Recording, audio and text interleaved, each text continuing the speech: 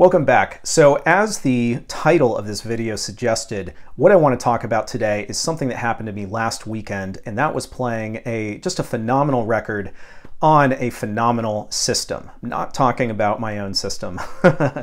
um, so I'm going to actually tell this in, in sort of two parts because they're almost like two separate stories. One is um, one is what what is the record? What's the story behind that? And then the second is how did I come about uh, being able to play it on this system and what did that system entail and what was the listening experience like? Uh, so hopefully this is going to be interesting. Um, we'll see. We'll see what happens.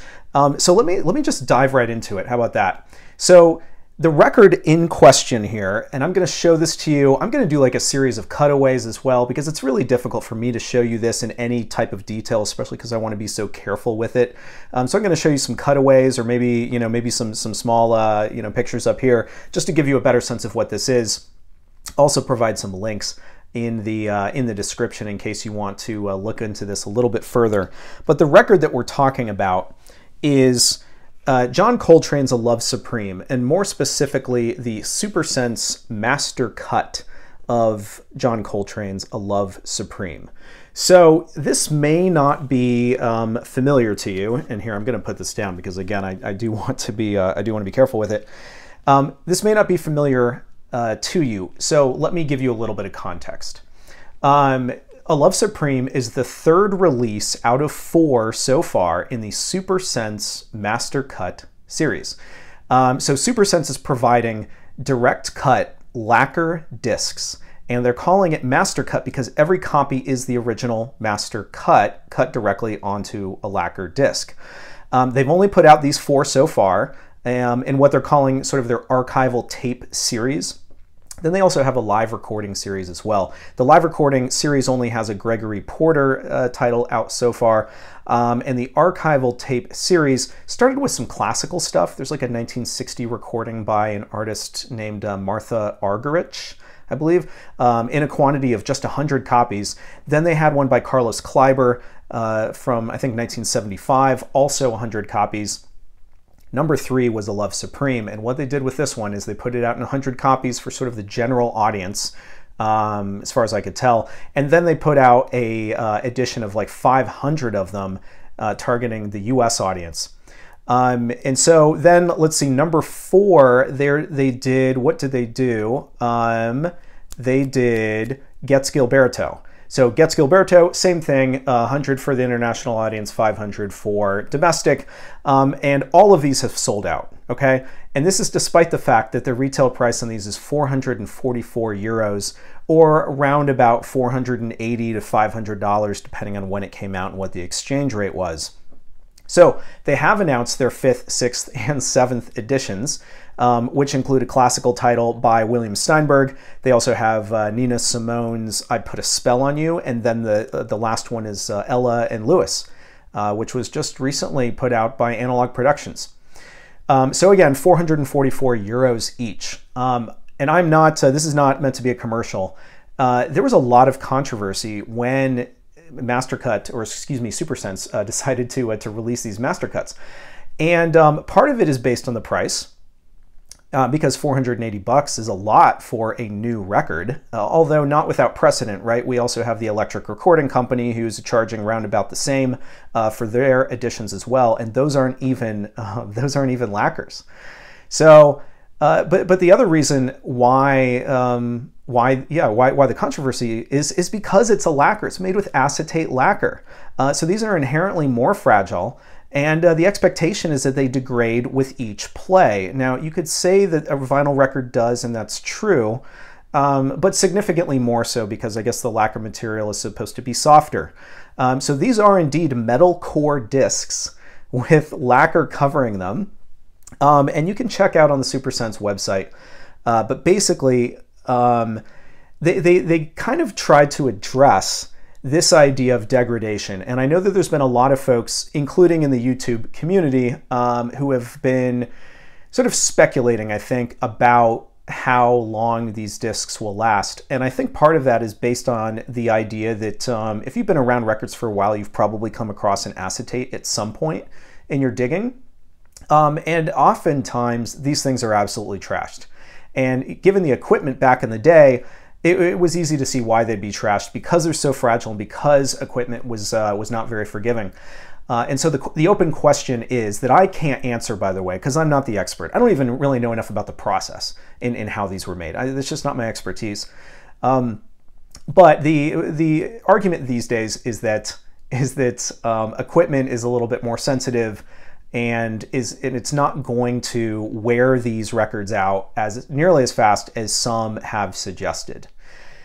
So if you go to the SuperSense website, you can actually see um, they, they posted a, a, link to a blog where what someone did is they they played one of these acetate, excuse me, one of these lacquers a hundred times. They used a technique called spectral analysis, which I don't know enough about. Um, but the long and short of it is that after 100 playbacks, there was no discernible degradation. Um, now there was variance in, in terms of uh, how I don't know what the uh, you know what the lines on the graph did uh, between plays, but it wasn't that universally it was degrading um, with uh, with each play, and that was across hundred plays. They didn't do it beyond that. Um, so one other piece of controversy with this title is that um, the master tape has been damaged, which results in one of the channels going in and out for the first few minutes on side two, and that was transferred to the disc as well. So the idea is that they wanted to represent the master tape as best as they could, rather than artificially fix it, which honestly I don't think that they could do given their process. Um, and they really want to preserve this process of everything that's on the master tape is exactly what you get. Um, they kind of call it this like one to one like there's no there's no digital step. There's no like there's no, not doing anything to it. It's it's basically you're getting um, as, as close as you can get to the original master tape as possible in the form of this lacquer. Okay so that's a little bit about uh, the process. Um, and what I'd like to do now is talk to you about um, what's included with uh, with one of these 444 euro uh, SuperSense Mastercut editions. All right, so let me show you um, a little bit closer what you actually get with this thing. I'm um, I don't want to make this just be like you know sort of an unboxing porn kind of kind of video, but I wanted to give you a sense, I guess, of what these uh, what the what these come with, um, just to give you a better idea. And and again, I'm going to use some cutaways just to give you a much better idea, um, and uh, and I'm going to talk you through it, I guess, as I as I kind of uh, go through this. Um, so first of all, the, the thing that I would say about this uh, this this particular um, well this packaging is that there's elements of it that I really really like um, in terms of like I don't know the uh, the sort of the material that the box is made of and it's kind of textured and it uh, and it feels nice, but at the same time it is shockingly flimsy. Um, so I, I would have expected this to be like, I don't know, maybe even borderline plexiglass, but as you can see here, um, the first thing that happens when you open it is you, it reveals the disc and it's not even in, it's not even enclosed in any type of like bag or sleeve. Um, it, it's got this, this branded kind of lock on it. So you're supposed to uh, kind of undo this and you, you'll, you'll see that there's the, um, you'll see that there's the, uh, the you know the spindle hole, um, and take out the record and put it on your uh, player. But but the problem is is that you have you have this cardboard that kind of then touches the the disc um, unless you're I don't know like being just extremely careful with this. And obviously I'm going to be extremely careful with it, but still it's like it's just kind of a shame that that's what they did. I feel like like I said I feel like given the price this thing should be in like plexiglass or something. Um, so anyway, uh, there's no label on the disc, um, which is uh, which is fine. They're kind of going for the um, you know the, the, again this this sort of lacquer idea, um, and you know they, they do have um, sort of a nice um, indicator of exactly who I guess worked on it. Um, you have the cutting engineers who have made their mark. You have the date that it was uh, that it was done, and and generally speaking, the packaging is quite nice. It's just again, I, I kind of wish that that there was better protection for the actual for the actual disc uh, which isn't that the most important thing here. Um, so there, there is um, kind of this, uh, this like Obi thing that came with it as well. That uh, seems like it was done uh, nice as well. Um, and then there's a booklet. And to be honest, I wish this booklet was bound. I wish that it wasn't um, that, each of the uh, sort of the pieces of ephemera were not in these like wax paper kind of sleeves because then it would be a lot easier to um, to kind of go through everything. Um, but so so what you have is you know almost what looks like a photocopy, right, of uh, of some original um, some original sheet music.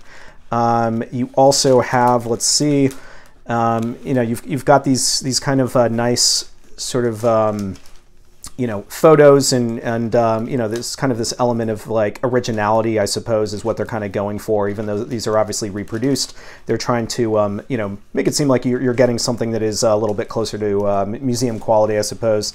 And and it is nice and it is fun. It's just that i, I feel like i could um, i could go through this if it was just printed you know nicely on like glossy paper and i'd probably get an even better experience um, than you know than than having it be inside these, um, yeah, like I said, these, these like wax paper sleeves. Um, you also have a um, sort of a letter that, that warns you about those th uh, couple of minutes of tape degradation uh, that you're going to uh, that you're going to experience as you listen to the first side of, or excuse me, the first few minutes of side B. Um, you know, so yeah, there's, there's just um, there is a lot here, I would say, but it is just really cumbersome to go through um, and and to ensure that you're kind of treating um, all of the, the material nicely. Um, but, you know, uh, like I said, I mean, it, it kind of is what it is. I, I, guess they expect everybody to be extremely careful, and, and certainly I try to be. Um, but again, that's just kind of my uh, my opinion that um, you know they're, they're, really going for the uniqueness of this, but but at the same time, it's also mass produced. So why not just make it something that's actually going to last a little bit longer um, and and with a little bit uh, a little bit better protection. Um, so you know, I, I, mean, not that it's it's my job to really like review um, the sort of the packaging on this. I mean, I I don't know. I'm I'm not really the target market for this thing. Um, don't know exactly what came over me when I decided to pick it up. Um, one other point perhaps worth noting is that I did spring for number 10 uh, because you got to choose if you were going to go for um, you know 1 to 10 and you were early enough then you could be able to choose uh, which number um, that you got and then I think I think anything above 10 I want to say was just random and it was based on you know how soon you uh, you ordered um, so anyway, got number 10. Suppose it's kind of cool. I'm sure it sounds just the same as number, you know, 499, right? Um, but that's uh, it is what it is. All right, so um, so that is this um, this you know box. I'll call it a box set, I suppose, but um, you know just just one disc. Um, and now what I'd like to do is kind of move into um, what it what does it sound like, and and and what, what, what was my experience like over this past weekend when I was able to play this record again on such a phenomenal system. All right, so how this came about is I have a friend who works at a local hi-fi shop here in Atlanta, and the shop is called Hi-Fi Buys. Uh, they have a pretty good rep reputation, um, at least I think in the region anyway, perhaps outside the region, I'm not exactly sure. I have sort of only, um, you know, gotten into this hobby, at least mostly since I've been living down here, so I, it's not like I had heard of them otherwise, um, unless I was uh, here in Atlanta. But um, fantastic shop. Uh, the guy who runs it is a really nice guy. And I guess at some point, my buddy who works there mentioned to him that I had this particular John Coltrane release. Came out in 2021. And um, I gotta be honest, I have not listened to it in its entirety because I was waiting to make sure that I had a system or like a cartridge that wasn't gonna that wasn't gonna ruin it.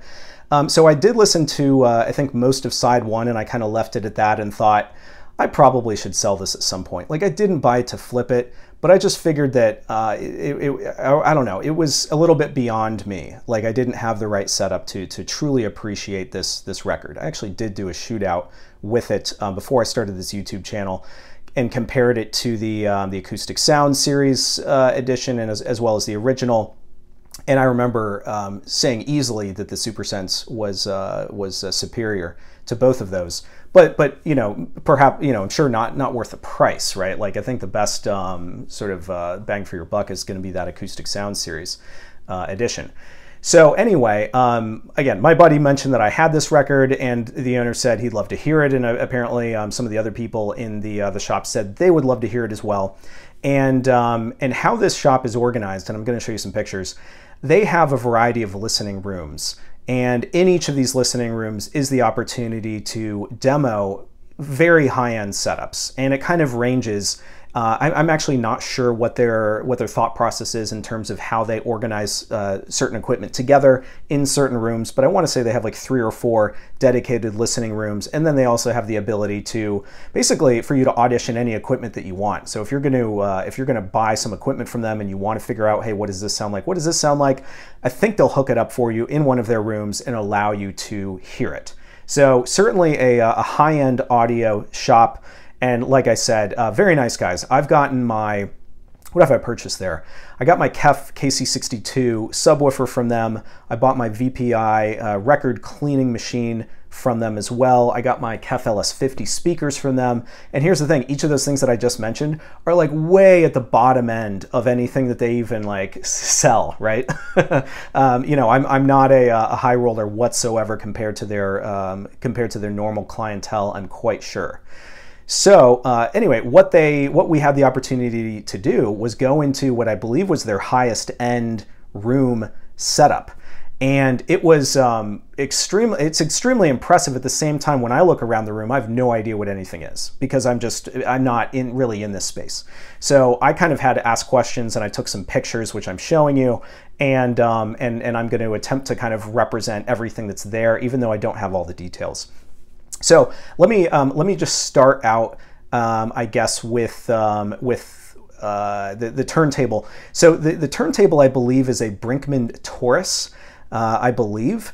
And um, let's see, what, what else do we have here? We have DS Audio Grandmaster dual chassis phono stages. Um, there's a uh, Dan uh, D'Agostino Momentum HD preamplifier.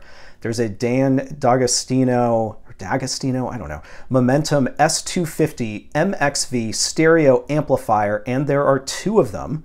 Um, there's a Dan D'Agostino Momentum M400 MXV monoblock amplifier because, of course, you need a, a separate amplifier for your mono stuff versus your stereo. Um, the, uh, let's see, they have a DCS Vivaldi DAC. They have a DCS Vivaldi CD transport. I don't even know what a CD transport is. Um, the, uh, the speakers are Wilson Audio. I'm not sure exactly on the model. I don't know what the subwoofer is in this room. The stylus in here is, um, all, all, I know is that it's something like seven or $8,000, but I don't remember exactly what that was. But if you're tracking with me and you're thinking about some of those brands, maybe those brands mean something to you. Again, I'm, um, I'm still a newbie in the world of equipment but I did a little bit of research. It turns out that turntable is a $16,000 turntable. The phono stage is dual chassis phono stage is $45,000. The preamp is $40,000. The stereo amplifiers are $45,000 each. The monoblock amplifier is 40,000, the DAC is 36,000. The CD transport again that I don't know what it does, $42,000. The audio the uh, speakers I believe are $60,000 for the pair. Um, stylus, uh, I think I already mentioned, um, yeah, seven or eight thousand. Don't know what the subwoofer is, so can't even um, can't even guess. But the total here, um, if you've been following, is somewhere around three hundred eighty-six thousand dollars, and that doesn't include subwoofer, cables, room treatments. I believe that there are other upgrades that they've done, perhaps the tone arm, perhaps to some of the equipment. Um, but basically, what I was, um, you know, kind of informed is that this setup is around a half million dollars. So there isn't a single piece of equipment in that room that I could justify or afford, right? So um, anyway, the, the point here is what a fantastic opportunity to play one of my records on such a great setup. And, um, and it was nice that, uh, that, that uh, the folks at uh, Hi-Fi Buys were so interested in hearing it as well. So we queued this record up and, um, and well, that's that's uh, yeah what I what I want to talk about next. All right, so in short, what was it like playing this record on this setup? Um, it was it was absolutely amazing. It, it really was. Now, keep in mind that I'm I have the sort of mentality that um, you don't need to spend a lot of money to enjoy records, and I and I really think that that's the case. I know that there are people who um, who really want to get that extra couple of percent on their um, like uh, e eking up in terms of like having that perfect sonic experience. And and I guess what I mean by that is that I think I've said this in a previous video, but if you think about a Crosley integrated turntable speaker unit, um, you you might be able to get this is not scientific, right? But like 75 or 80% of the utility of a record by playing it on a less than $100 integrated Crosley unit. Um, and if, if you spend a little bit more money and you have a setup like, let's say, what's in this room, um, and I've and I've uh, covered this in a previous video, and I'll link I'll, I'll link it um, so or uh, put the link in the uh, description uh, for those uh, for those folks who want to get a refresher on on my setup. But again, you know, fifteen hundred dollars speakers. They're they're they're not um, sixty thousand dollars speakers, right? Or my Mac um, amplifier is you know maybe a fifteen hundred dollar amplifier, not a forty five thousand dollar amplifier, let alone two of them, unless you count the mono block, so three. And, and here's the thing: I think with my setup, I can probably get again not scientific but like i don't know what 95% of the utility of a record and and so what people chase and you could you could uh, disagree and say not 95 with this setup, you know, but whatever. What, what people chase is those increments. Um, they want to get uh, as as best of a sonic experience as they can, and they want to hear the music as best as it can possibly be heard at home. And um, and that's not that's not something that I've ever really chased. But it's very interesting to be able to hear this record presumably the best that it could possibly be heard. And I know that there's I know that there's better setups, but again, this is like in my in my criteria or from what I've heard, this is like the best that I, that I could possibly hear it.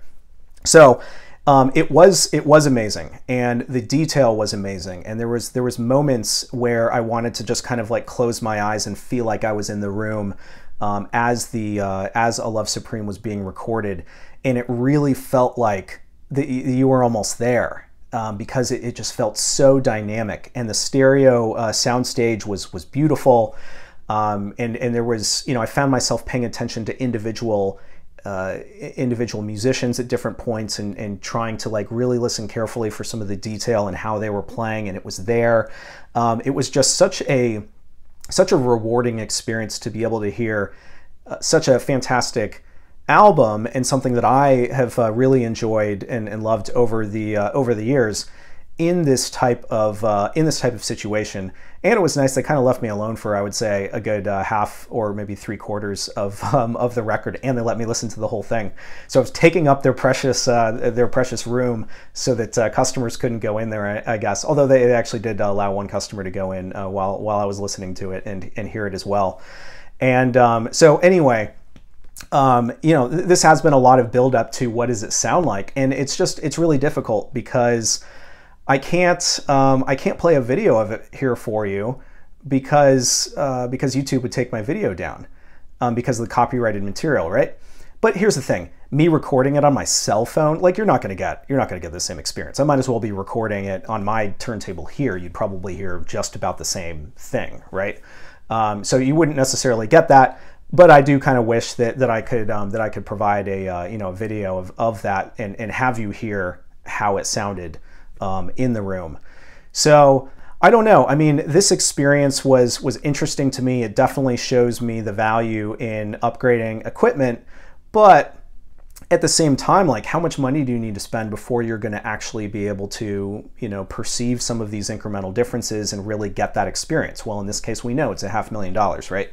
But might I be able to move from that 95 up to a 96, right? Or a 97? And what's that worth to me? And unfortunately, these these extra percentages, again, not scientific, just become extremely expensive. You know, like so if it's $100 up to 80% and it's a couple thousand dollars up to 95 96 might be $50,000. 97 might be $100,000, right? Um, and so, you know, I, I, I, don't think that those are um, improvements that I'm necessarily going to chase. And yet, I have this SuperSense Mastercut edition that you could argue I, I shouldn't be playing on my setup here, right? Um, and and you know, and I also have the acoustic sounds uh, version that I that I play much more regularly.